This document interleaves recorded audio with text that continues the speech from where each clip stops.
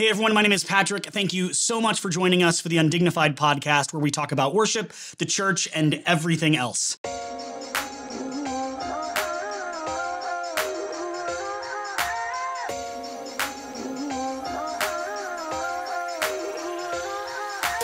Thank you so much for joining me. As you can see, I am not in my office. I'm in a new apartment that my family and I just moved into, which is why you hear all of these construction noises. It's a story for another day. What I really want to talk to you about is the fact that I just got to have a conversation with Eric Marshall. Now, you hear the name Eric Marshall and you think, uh, who is that?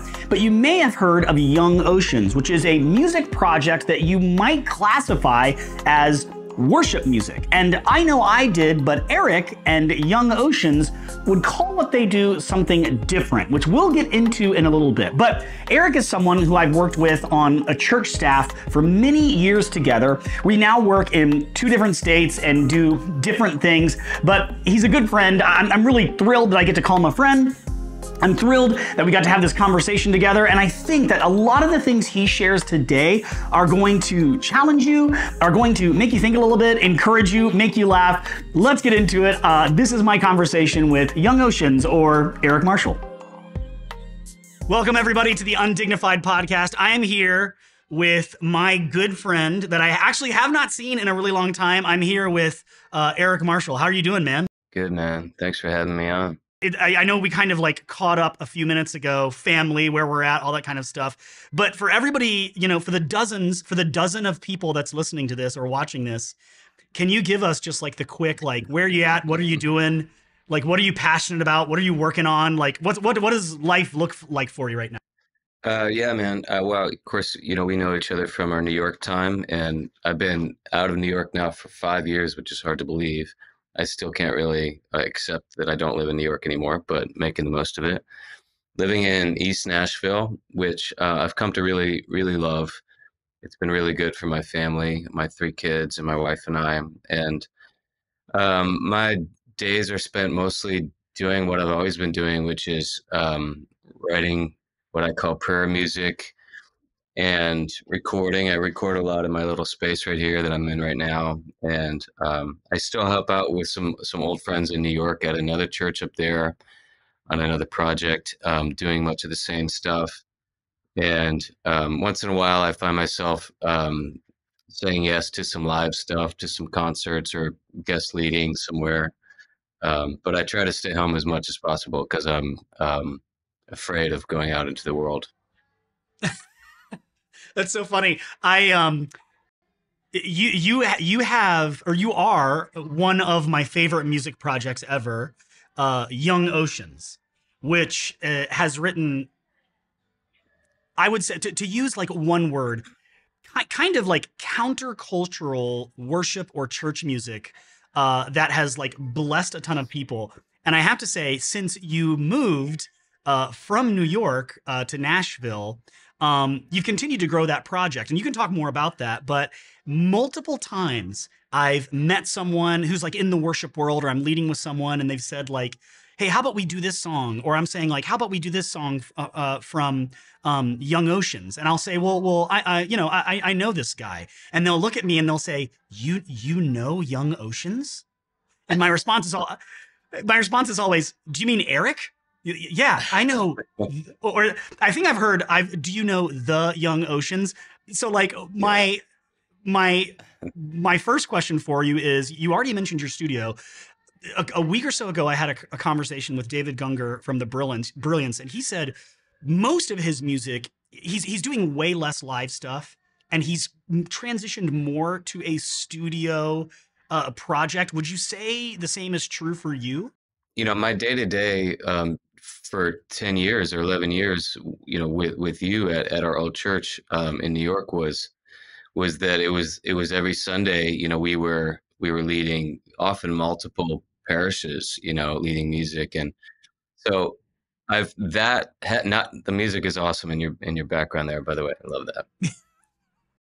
We have to address this. I'm i'm upstairs in my church office. So, downstairs is a children's sing-along group uh, uh, just partying emphatically. So much is going right with this interview so far. I love it. Anyway, continue.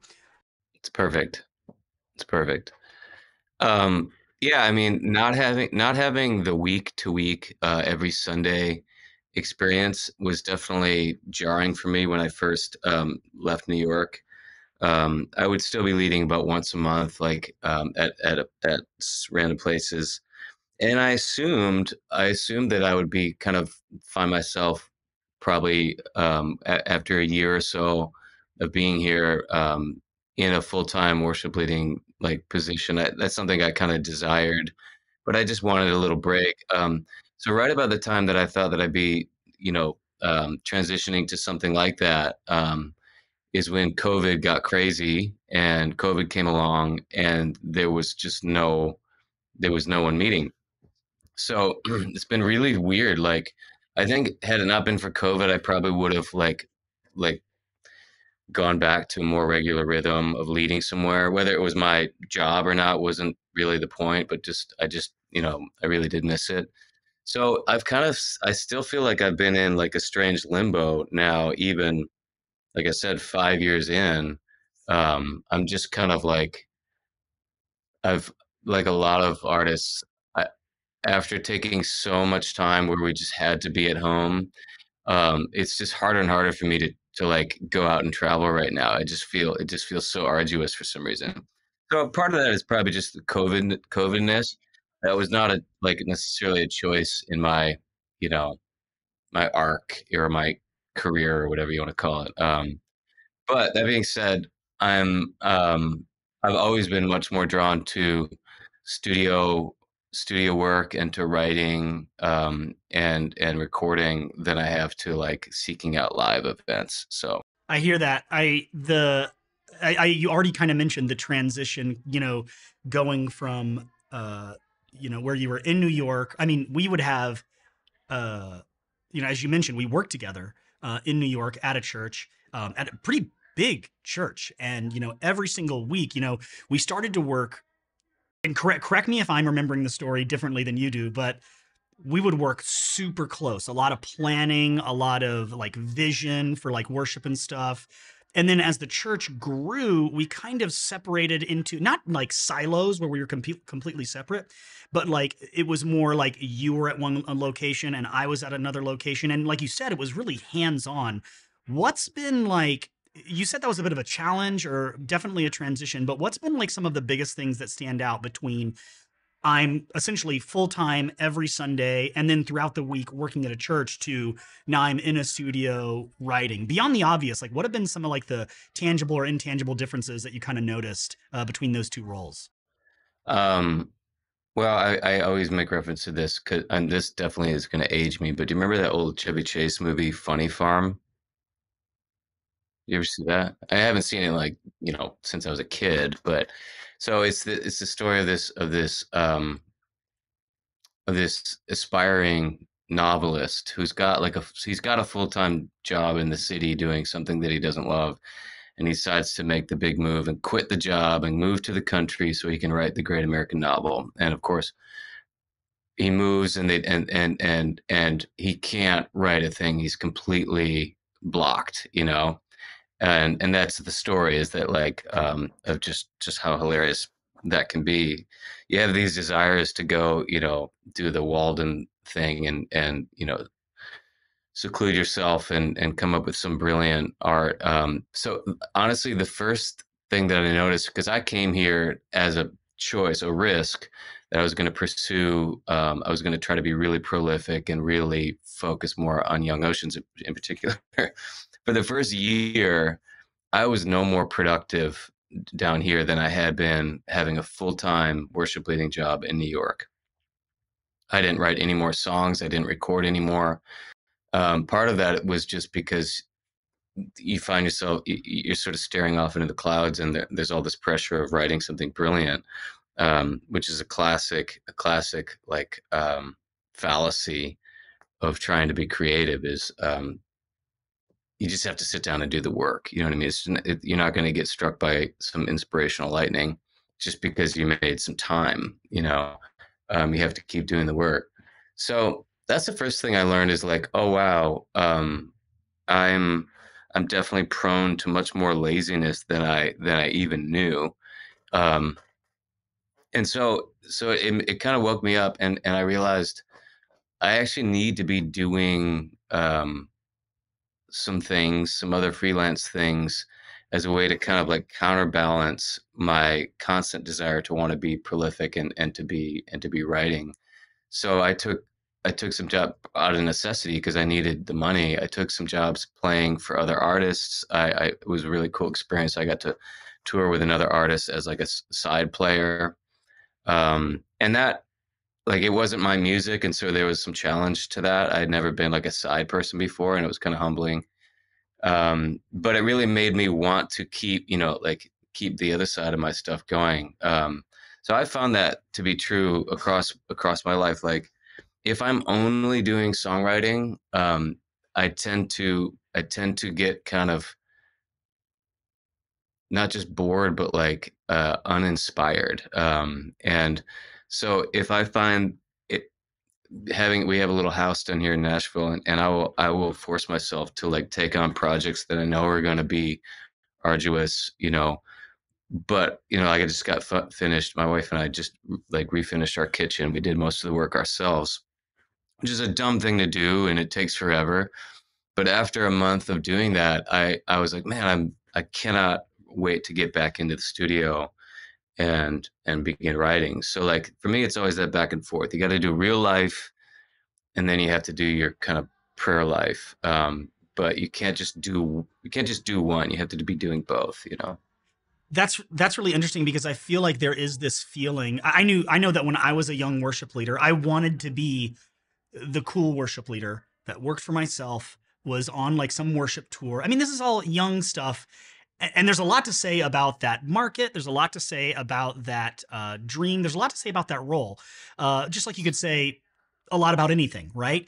Um, but it's so funny because I like what I'm hearing you say is is kind of counter to that the grass is always greener thing.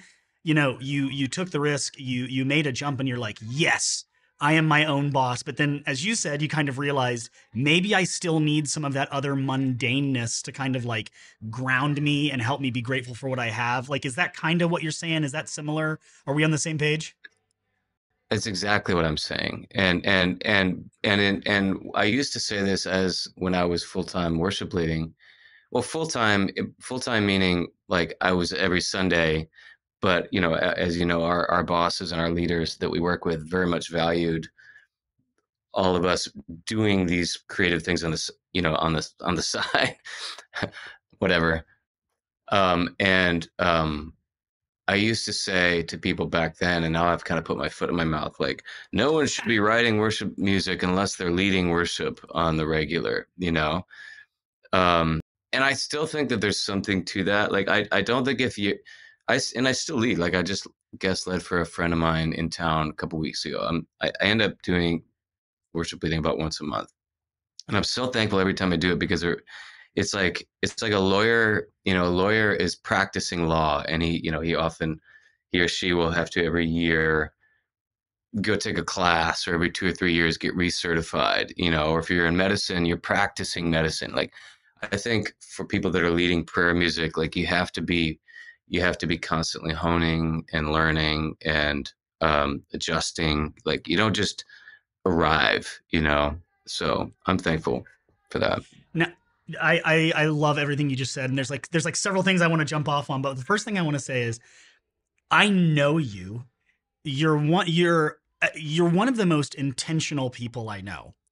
Um, let me give you a small example. Uh, when you started basically getting serious at some point in your I play rock music in New York career. Before we even worked together, we just knew each other. You mm-hmm. you said I'm going to start producing my own audio. You bought Logic Pro. I'm going somewhere with this. Before you used Logic, tell me if I'm wrong. A friend of mine looked at me and said, "Did you know he read the manual twice?" Is that true? Uh, I don't remember doing that, but that that's usually what I do. Yeah. Okay. That's so okay. man, you have an amazing memory. I definitely remember like it's so funny now because Logic I Logic is so cheap now. At the time yeah. it wasn't. I think it was like 500 bucks. yeah, It felt like a mortgage payment, you know what I mean? And and it was, you know, the DVDs or whatever and um CD-ROMs and um no, I usually will read a manual cover to cover when I get a new piece of gear. Um well, well, that and that's my point. You're you're you're so intentional. Um, and yes, you're right. Logic used to come in this huge box. It wasn't just a download, whatever. mhm. You've said something twice, maybe three times in our conversation already that I've never heard you say before. And I think you're saying it with intentionality. Why do you continue to say prayer, anyone doing prayer music? That's that's what I call what I do. Um and I have a I do have some very specific reasons for that. Um I've I've I've felt that I've seen a pattern over the last 10, 15, 20 years. Um, I mean, anyone that that grew up um, even even slightly around what what's called the CCM phenomenon, you know, the contemporary Christian contemporary music, is it contem- which is first contemporary? I don't know. CCM, we all know what it is. Um, you know, back in the 80s late 70s 80s it was this beautiful revolutionary thing it was kind of like well why why shouldn't we be doing you know jesus music in the same kind of like you know musical housings as all this other stuff that you know the kids are enjoying you know and so you, and so basically nashville was was you know out of the country world in nashville came the the Christian music world and the CCM world, and it became this this huge world like first national and then worldwide phenomenon. Um, something we now call Christian music. Um, I have a lot to say about that, um, but that's not really your question. And from there, um, I think I, I don't formally study this stuff, but this is just kind of like my guesses along the way. You know, out of the seeker um, megachurch movement began to grow these these gigantic um, worship hubs. You know, I obviously Hillsong being one of the first, um, Bethel and Jesus Culture a little bit after that, and now there's dozens and dozens of these these conglomerates, these churches, which are massive to begin with. You're talking, you know, 20, 30, 40, 50,000 people that are attending a network of, of churches, um, sometimes spread across cities. Um, and, and now you turn on CCM radio. It used to be just message music, you know, the, the classic tagline of, of, um, was it K-Love is, you know, positive and encouraging, you know? My, my local radio station in Florida said, uh, safe for the little ears safe for the little ears which is like yeah beautiful why not you know like there's a time when that's when that's really gonna like like serve a, a great purpose for families you know um but at some point i think around the passion tomlin time um we have to remember that there was no worship music you know well it wasn't necessarily worship music first and foremost that was on the radio. It was message music, um, and that has shifted now. Like you'll go if if you if you were to dare to turn on Christian Christian radio, FM radio in any town, you'd hear a Lauren Daigle song, and then you'd hear um, you know a passion song or or a Bethel song, and and there is no there is no differentiation now between message music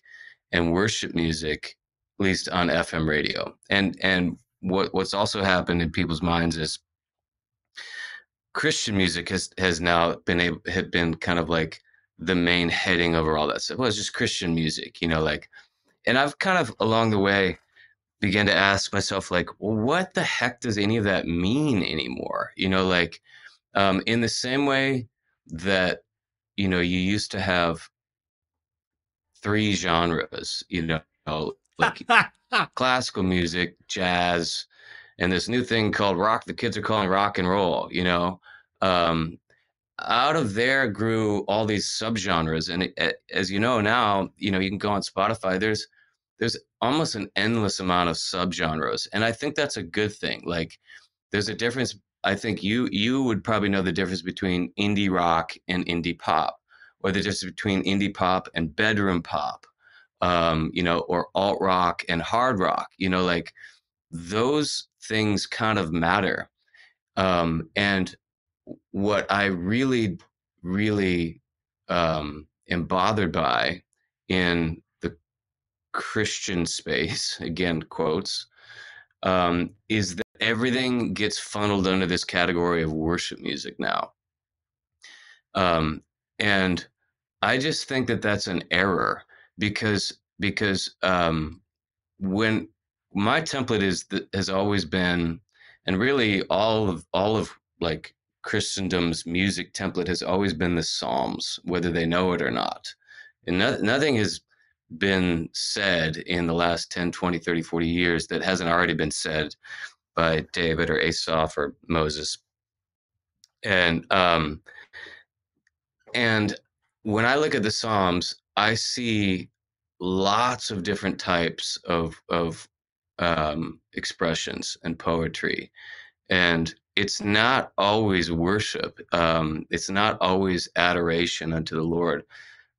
M- many times you'll you'll you'll read David's writings, and it's it's nothing more than a journal entry, you know, a personal musing, uh, a a diary entry, or or a, we all know, you know, that that there's really more laments in the Psalms than there are you know, expressions of praise or adoration unto God. So like but what they all definitely are for me, and this is where I come up with this category, they're all definitely prayers, you know? And so what I do with Young Oceans, like uh I think our first record probably could have first of like like on the whole probably been called a worship record but I just like after that I started to realize like I have this con- these con- these true and honest conversations with God in my personal, you know, quietness. And those are the things I feel compelled to to put into song. That's how I feel connected to the Lord. Um, and I'm I'm going to do that, but I I'm just finding that these old headings aren't really going to make sense for what I'm doing. So I I try to spread the gospel of the term prayer music, hopefully to liberate people and hopefully to expand some of our language because I think we've been a bit limited for the last 10, 20 years. Eric, I I have always um conversations with you are always extremely intriguing, sometimes very frustrating, but always intentional.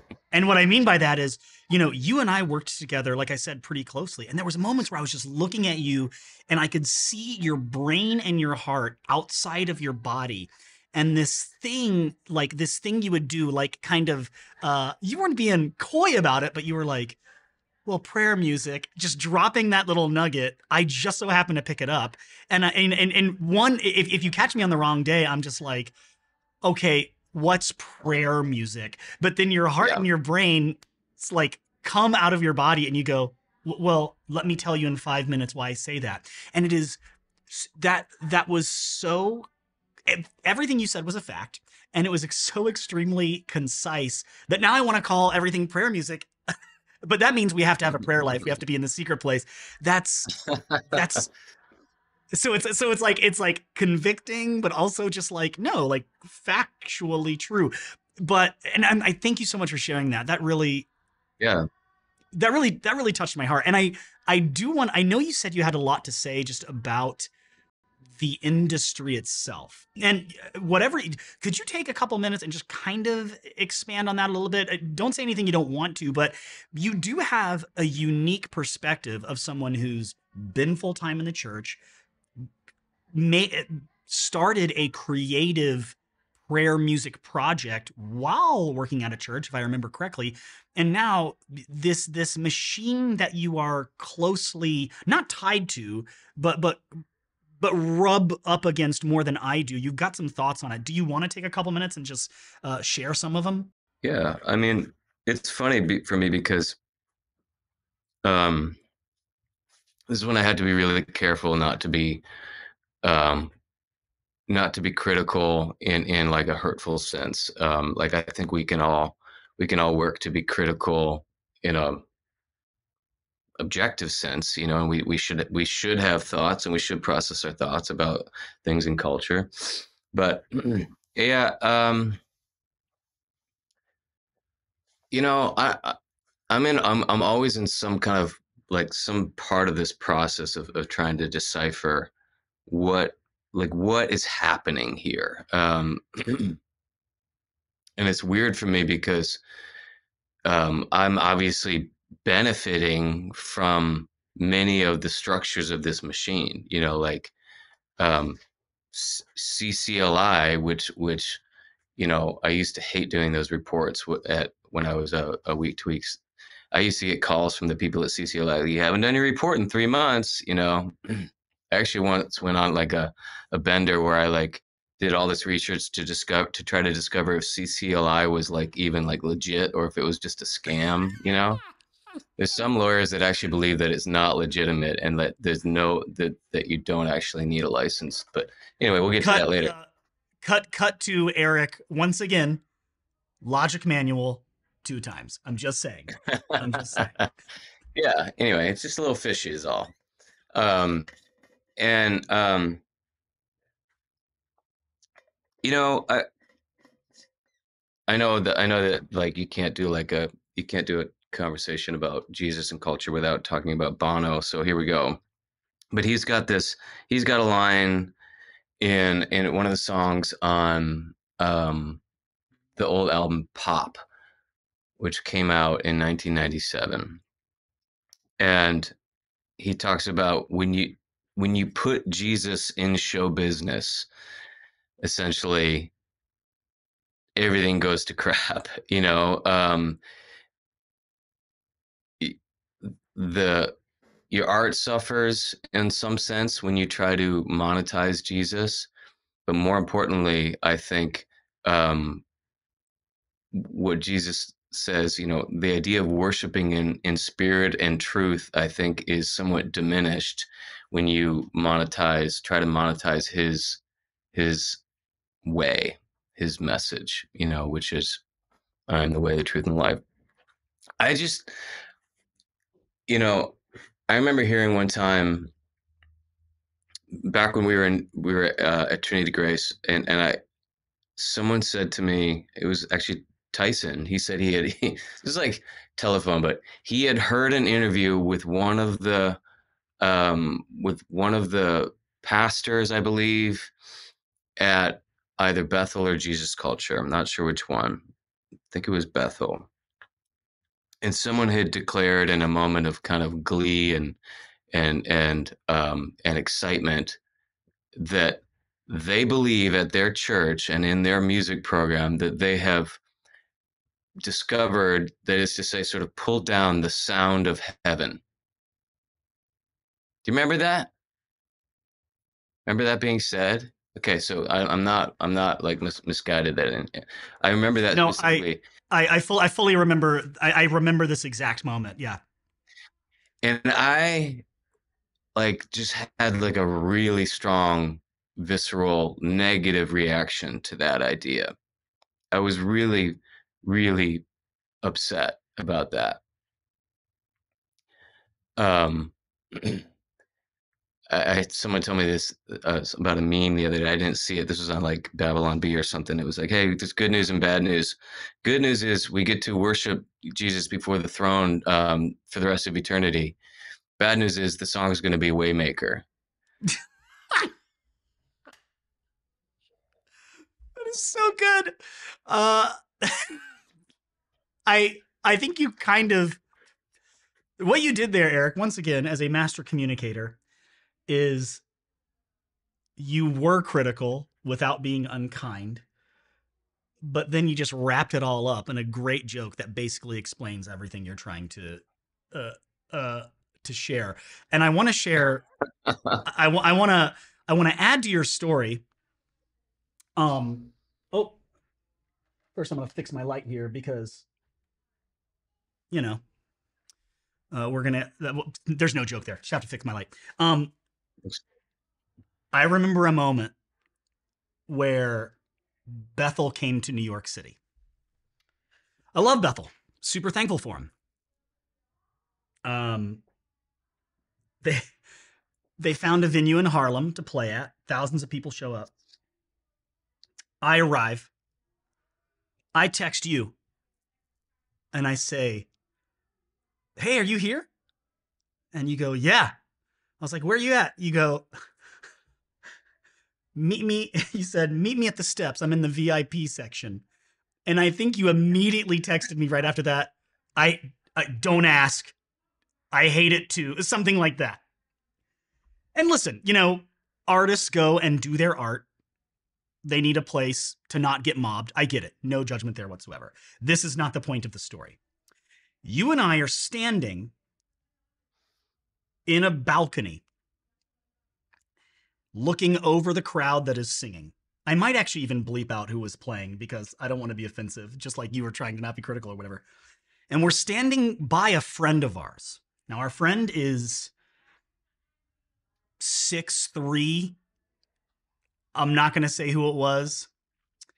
And at the end of this worship set, which was beautiful, and people were crying out to God, it was like the church coming together from, you know, there's Baptists there, and Catholics there, and evangelicals there, and Pentecostals there, and Bethel's there. And at the end, they did have a small please buy our stuff pitch. And you and I are standing there just going, okay, this happens. And beside us, on the balcony, over a crowd of thousands, our friend yells in a very quiet moment at the top of his lungs, We are not a market. And you and I are standing there just going, Oh my goodness. So I think so while you and I are trying to like, now I'm remembering. Yeah, so you're good. So you and I are having this like, let's not be critical. This is a this is a space where there's tension. And then our friend, not a worship leader, loves Jesus, not, doesn't yeah. even work at a church, just yells out, "We are not a market." There was no response or visceral reaction, but you and I were just. I remember us standing there being like, "What do we do now?" let's let's go ahead. Well, I guess we'll exit the VIP section to start with. Um, that's that's probably anyway. I really appreciate you. I really appreciate you oh, yeah. sharing your thoughts there because um, you do have a unique perspective, and I think I think what you're sharing makes a lot of sense. And it's a tough. I mean, this is a podcast. I jokingly said uh, 30 minutes ago that a dozen people will listen. I hope this generates something. I, I hope this is encouraging. I hope people want to put ads on a piece of content I create. But it is an it's a strange tension when business, Jesus, and the church all start somewhat working together, um, as summed up by the Reverend Bono, uh, as you said yeah. earlier. So I think I thank you for your perspective. Um, I thank you for all of that. And before we like kind of, you know, I, I don't want to leave without also just kind of getting into the fact that you don't just do prayer music. You write some, you have written some of my favorite rock songs of all time. So you you have this world you live in called Young Oceans, but you also have Last Royals. Mm-hmm. Tell us about Last Royals, but also tell us like maybe this isn't a long answer, but how do you live in both of those worlds, live with both of those projects? Yeah, the Last Royals was the thing that I was chipping away at. It was like the latest iteration of of the type of music that I've been doing since I was in college, which is just indie rock or whatever, you know, back to our genre thing. Can I say something about that real quick? Yeah. Well, you, I, I, I forgot. I wanted to mention when you were talking about genres. Um, I totally resonate with you because, like, as you know, I've always been into metal. I love metal music. Yeah. My Sunday is filled with "How Great Is Our God" or um, "Oh Come to the Altar," but then on my way home in my headphones, I'm literally listening to a genre called deathcore. Um, and w- when you talk to a metalhead, There's a guy that lives in my building who's an old dad like me, and he we we both found out we like metal and we go to metal shows together. And if you ask him what band is this, he's like, "Well, they're technically grindcore with a little bit of metalcore mixed in."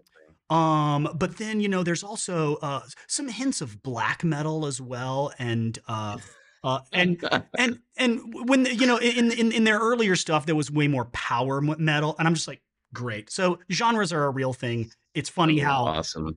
the rest of the world has gotten that, and we have worship. Interesting, but yeah, talk to us Thank you. about You made my point. yeah, yeah. Talk, talk to me about um, Last Royals, Young Oceans. H- how do they work together if they do it all? How do you how do you balance between the two projects? Does one get favor over the other? How does that all work for you? Yeah, one gets favor over the other because one is completely unsuccessful and one and one is not. Um, the Last Royals was a band that, you know, like so many bands, like it just it just didn't take, you know, it didn't take like the shower, like George's shower. There, we got our Seinfeld reference. I got it. Yeah.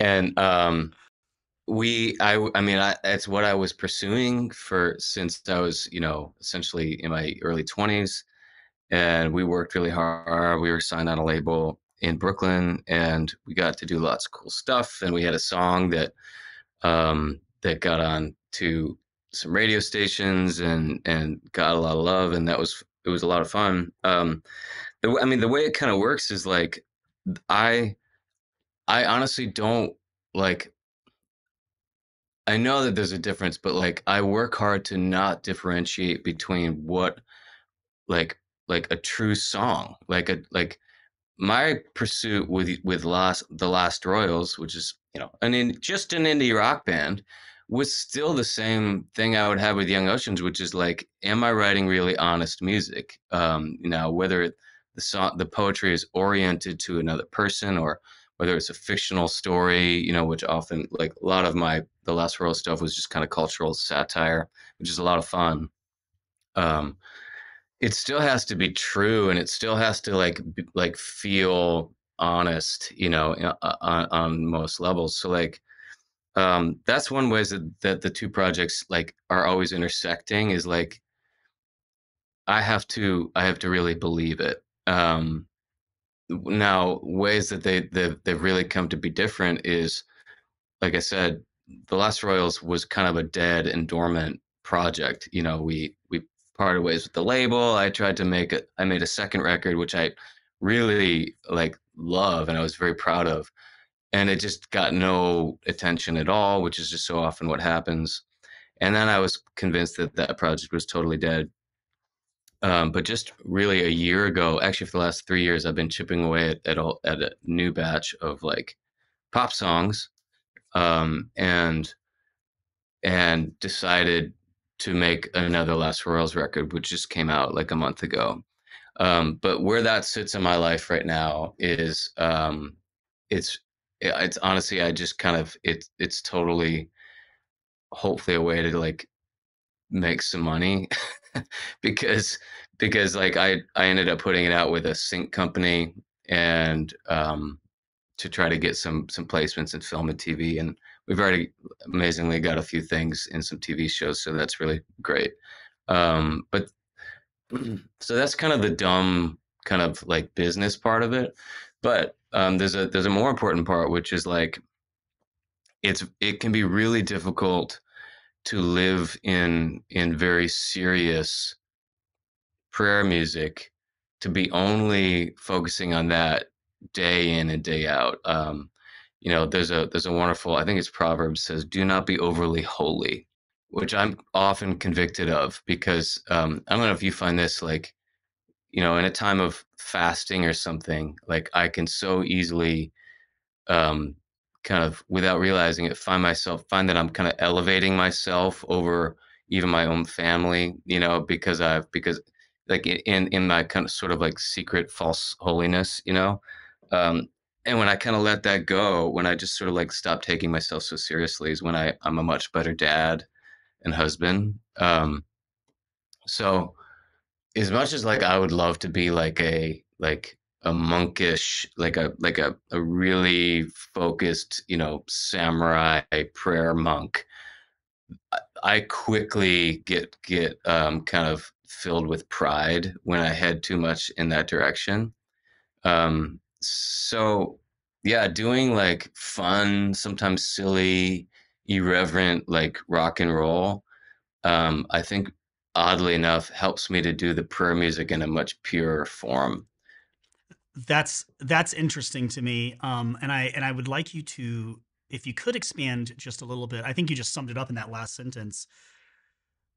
Speaking of silly, influential, earth-shattering rock and roll, can you talk to us about uh, Beyond Thunderdome or Live from the Thunderdome? No, that was live from the Enormodome. Enormo. You're close. This this is way too inside of a joke, but one of the best songs you ever wrote. One of the best songs you ever wrote was with a band that no one will ever hear. But you sent me the album laughing. No, I didn't write it. that stuff, dude. I didn't write that stuff. I was only the drummer. No, you weren't just the drummer. You guys would switch positions. You told me. No, I'm no, but we would. So I was in a band in college, and we we were actually like really um, we were really motivated. We would we would go play these bar sets um, throughout the week or the week, play several times a week at bars, and we had a girl lead singer. I was the electric guitar player, and we were four piece. And um, in order to play these bar sets, we had to learn all these cover songs because we only had like 10 originals, trying to write more and more. Um, but we would learn all these covers so that we could do like these three hour sets and get paid. That was how we would fund our recordings. We would just play bars. Um, it's a great way to learn. And um, one, our our drummer was was one of the was actually the main songwriter in the band at the time, and he was a really good songwriter. And he he had this whole set of like joke songs basically like they sounded like acdc They were just like these really brutal straight ahead like rock like killer rock songs and he would do that that scream falsetto thing like the bon scott thing Or like uh, like uh like the darkness. Yeah it sounded exa- it was actually like pre dark before the darkness came along and when we saw them come out we're like "Oh, we totally should have done this you know? But the gag was like we would let our singer take a break to rest her voice and the bass player would play guitar and he was like this really shreddy he was a much better guitar player than i was. Our drummer would come and play bass and sing and i would play drums and we were called we called ourselves brody um, and because we we just had way too much time on our hands we decided to make an ep at one point and of course no one ever heard it. This is like uh, this is so long ago.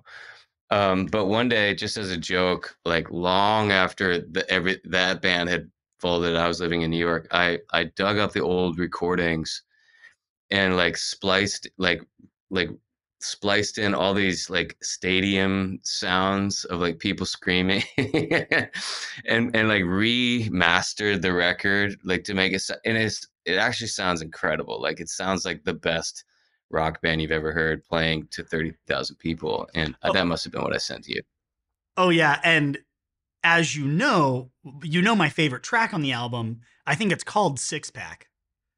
Yeah. And uh I mean, we should just like fade in Six Pack right here.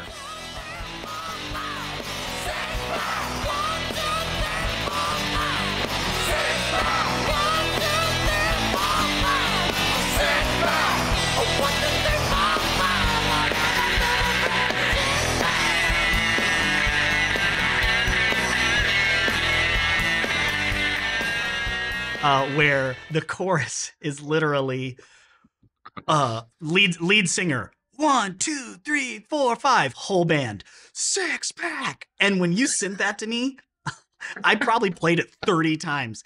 And the thing is now i'll every once in a while as you know eric i'll just text you one two three four five and you'll respond two days later six pack. It's the best. It's the best. Um well like it's Incredible. it's so funny it's so funny i think we kind of like went back in time uh, like talking about you know kind of like here's where you're at and kind of like the journey from uh uh Last Royals, Young Oceans, all the way back to our early, you know, like New York worship leading days, and even before that in college. And before we leave, I just want to say, like, if you have not, like, if you know, um, if you're listening and you know Eric as the Young Oceans, um, uh, great. You need to listen to the Last Royals. Um, some of my favorites. I, I pulled it up here because I actually uh, was listening to it last night um, just being like, oh yeah, I remember this song. I remember the song. And this morning, um, my two and a half year old got a hold of the Google Home and was playing your songs. Um, Amazing. Only the Brave is one of the best songs ever written. Um, and then, I mean, like, dude, it's it's stupid. Also, the album Yeah. name, uh, Twistification from 2013 Mm. that's also a joke from a friend of ours. Um, hmm but uh, uh, I love um, I I love it's a tie between um, uh, Only the Brave and Good Day Radio. That's those are just those are just bangers. And then I do want to bring this up. Um, you have a song on there called uh, "I Hate California." We don't have to get into it, but my favorite Eric Marshall Last Royal story is I'm watching you play for the first time ever uh, with Last Royals. I think you were called something else at that point, but you're playing and everybody's into it, and all of a sudden you just go, you know, boom, boom. You're tuning and you go, hey, uh, anybody here from California? Half the crowd, yeah, California, and you go, welcome, you guys. This song's called "I Hate California." Boom.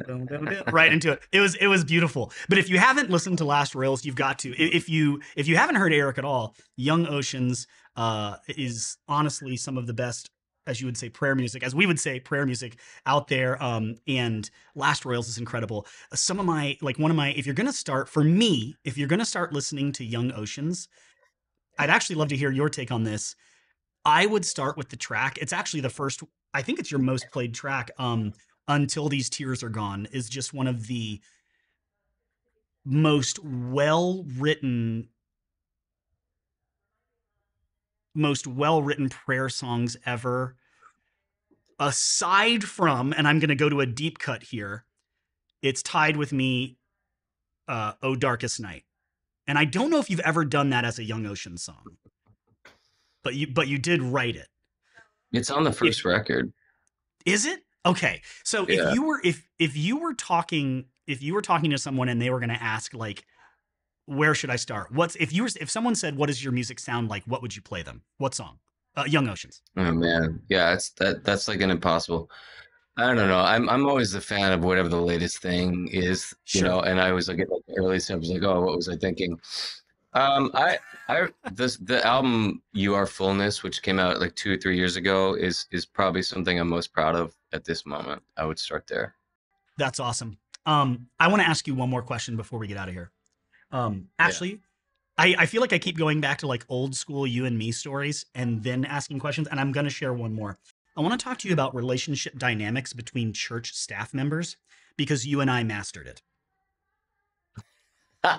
You you you have to remember this. You and I and two other worship pastors were were on staff at a large church network for New York City, very large, few thousand people, bunch of different churches, 12 or 13 different churches. And when these worship pastors would get together and talk, there was often disagreement, there was often subtle argument, and we came up with a system when someone said something truly offensive. Do you remember this system? rebuked. Yes. You would if someone hurt someone else's feelings, they would look at they would look at that person and go rebuked, and the other person would just say received. And that was the end of it. Except for except for one time. There was one time where I where I think it was you, someone looked at you and said rebuked and you said not received. And the argument continued and eventually got worked out. I loved it. We have mastered relationship dynamics. Uh, that's the that's the end of that story. I wanted to ask you one last question because you kind of hinted at it earlier. I want to talk about songwriting really quickly and creativity. I feel like we've kind of gone back and forth on some things that have happened in the Christian worship, prayer, music industry, some things that have happened in CCM, some things that have happened in the church. And one thing I'm noticing more and more is that worship leaders, worship pastors are often almost expected to be good songwriters. Hmm. I am not a good songwriter. You know what I'm good at? I'm a good collaborator. If you sit me in a room for 12 months, I'll come up with something. It's not going to be phenomenal. If you put me in a room with three or four pretty good songwriters, I will contribute. That's something I've learned about myself. Maybe not in years Mm. past, but in recent years, I've learned that. As a matter of fact, one of your, I think it's Until These Tears Are Gone. I don't, I'm going to remember the song later. You actually brought me one of your songs and said, What would you do with this melody wise? And I remember singing something to you and you going, Hmm, and walking away with it. And what you came up with was so different than what I suggested. And obviously, it was. It was sung by say, our right, bro. no, it was sung by our church for years, and I had I was never I wasn't like, "Aw." I really remember thinking in the back of my mind, that is way better than what I said. Way better, guys. Way better. But I think there's like this, like all kidding aside, there is this like almost expectation that when you become a worship pastor, you're supposed to write worship or prayer or CCM music. And I see it happen Mhm. over and over again where I'll sit in meetings and uh, a pastor will look across, uh, you know, the table or the room at me or something and say, "Hey, what about writing? Can we write some stuff?" And I kind of find myself looking around going, "I never told you I was a songwriter." And I don't Mhm. blame them for that. I think it's a culture that's been created. But you are a songwriter. Like when you hear that, like what's your take on that? Like what are your feelings about that? Because I see it happening over and over, but I feel like I'm the not to pump myself up. I just haven't heard anybody else talk about it where I'm like, Hmm. actually, I think song songs should be written by songwriters and I don't think everyone is one. Hmm. And thanks for sharing. Um, well, first of all, I had literally just last week a friend from down here in Nashville texted me about that chorus that you wrote. Dwell in me, dwell so richly in me for Be Thou My Vision. And he was like, dude, did you write that? We sing that all the time at our church. I was like, no, I didn't write that. My friend Patrick Murphy wrote that one. So I think you have more, I think you got more instinct than you, than you give yourself credit for. This keeps coming That's back. nice Thank you. This keeps coming back up. I said to our buddy Alf once, he said, This is so good. Uh, uh, th- those words. I said, Dude, all I wrote was five words. Dwell in me so richly. Yeah. And he said, Dude, they were the right five words. And maybe that's what it's about. So I, I appreciate Well, that encouragement. yeah. Thank you. Yeah, please take it because you know, like I, well, I, I have like first thought is like, I'll just give you my long answer, okay? Yeah. This is my and and and and edit it later if you hate it. um, I I have this this theory that um, okay, maybe one day I'll go to school and get this stuff all squared away and get it get the timeline right, but like when the West, the America, America, um, basically s- split off from um, sort of mainstream. Uh, obviously, it was Anglicanism. Then, at the beginning of the New World, was was what eventually became Episcopalianism. There was Puritanism from New England.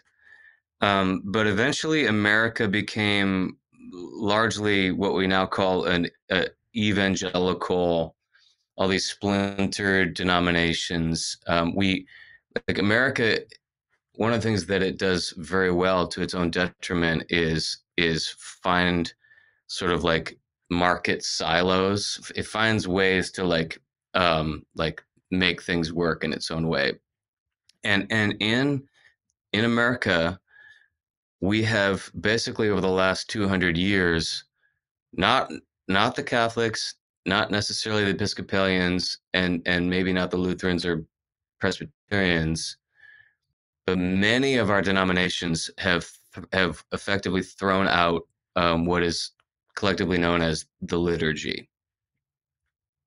I don't know if Gungor got into any of this with you, but he and I used to talk about this all the time. And you know, this is something that that that men and women have been honing s- since the early church is how do we how do we pray together? How do we gather together? What is what is the substance of our gathering? You know what are the things that we're doing and saying and and and singing? Um, and the catholic church of course as you know came up with this concept of like of of liturgy and and sacraments. You know what i mean the the the highest sacrament of course being communion eucharist the table.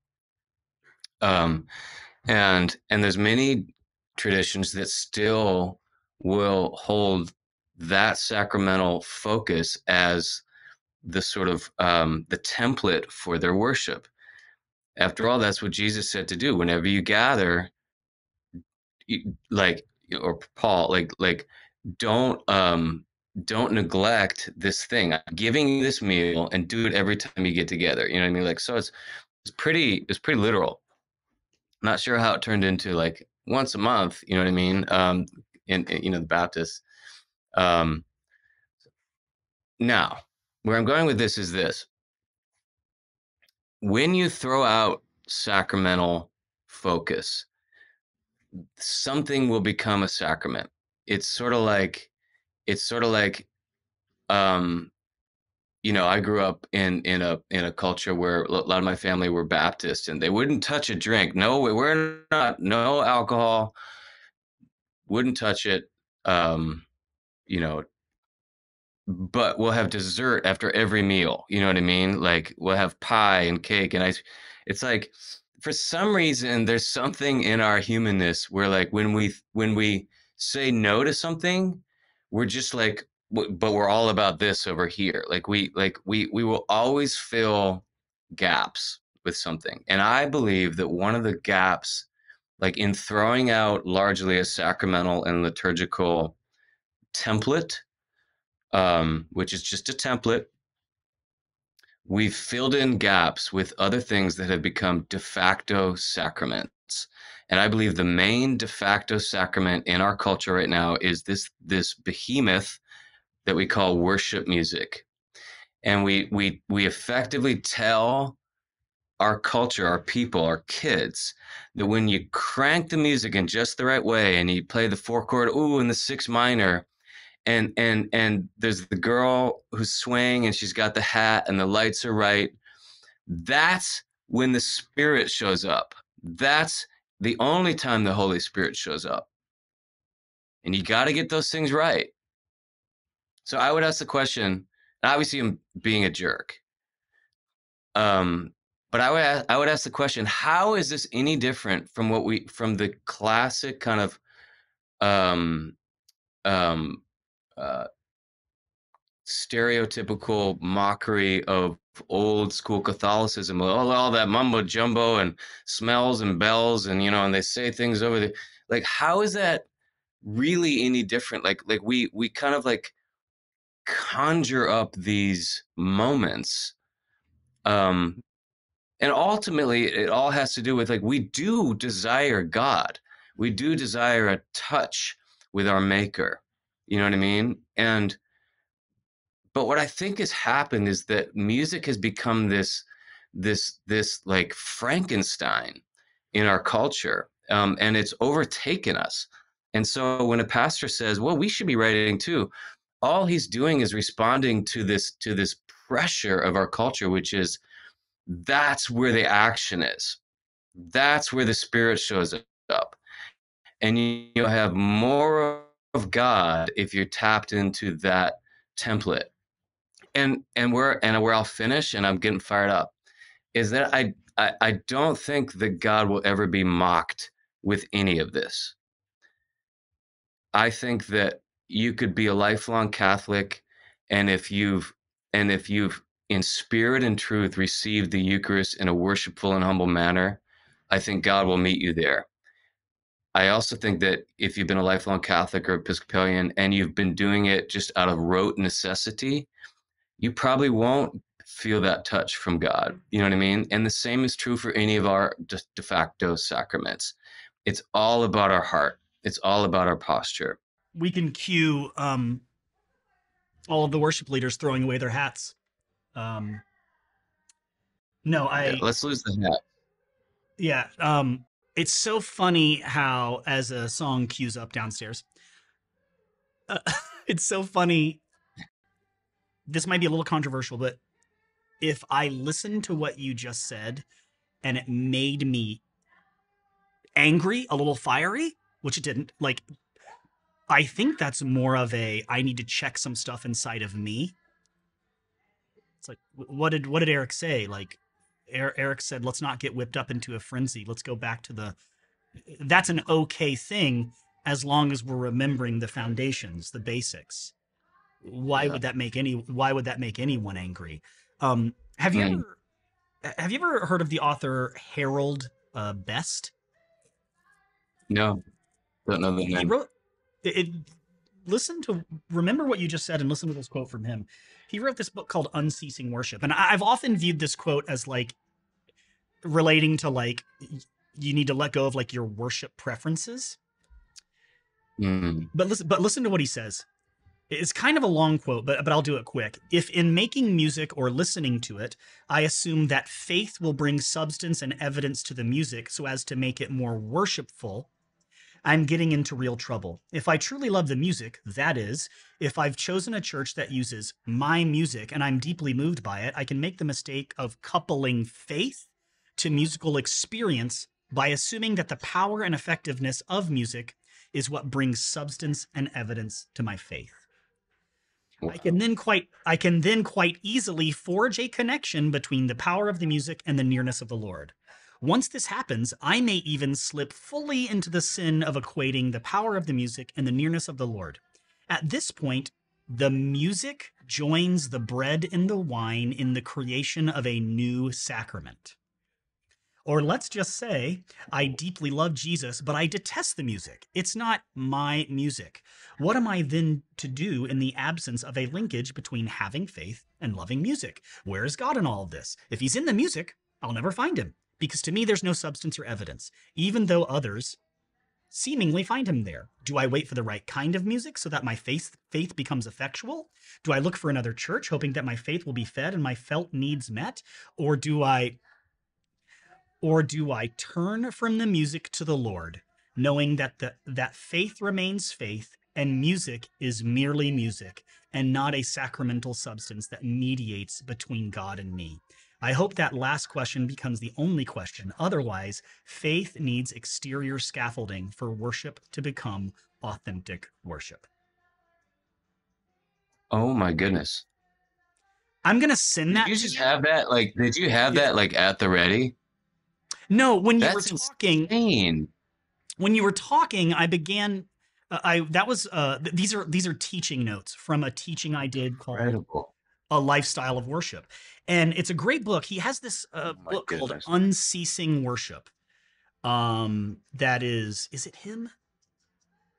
Uh, yeah, Unceasing Worship. I, it's a book I suggest for every worship leader out there. Um, I have no relation to this guy. I've never met him. I've never heard him teach. I've just read a few of his things, and it's it's literally what you're saying. It's literally what you're saying. So I'm it's so stunned. I've never heard anyone articulate that so well. I, I've been like bouncing this idea around, and and like he nailed it. Maybe I'll send it to David too, uh, because yeah, you're right. He did kind of uh, uh, uh, dabble into this area as well. But it's so funny how uh, I was asking a simple, not a simple question, but a, a question just kind of about my personal felt experience of like, you know, I've gone through some times where a, a pastor who was my boss looked at me and said, "We're we're cutting your salary because you're not an artist enough." And me looking mm-hmm. back going i never said i was i was hired to lead worship like what so obviously there's some like some of my own trauma built up in that statement but you you address that while also talking about the deeper issue of i guess trying to be trendy or keep up and and you explained it so so well i mean along with that quote which is exactly what you said you explained it so well and you have you do have a unique perspective eric. Like you have been someone who i've watched live that out while also being in the world where you work with worship artists. You write worship music that people play in churches. You uh, produce this prayer uh, music as you call it. And i just think it's a it's a unique perspective and i'm super thankful um, uh, that you shared it. And I've, I've actually been waiting for this interview. Both both you and david as songwriters and uh, current or former or worship pastors of some kind i've wanted to ask you that question and you did not let me down um, on the answer. But before we get out of here um, hey where i know we mentioned several projects you're working on where do you want people uh, to find you? How can they listen to your stuff? Uh, what's your preferred way for people to get in touch with you, etc.? The marketing. Hey man, I'm not a market, bro. Don't. Yeah, it's not a market.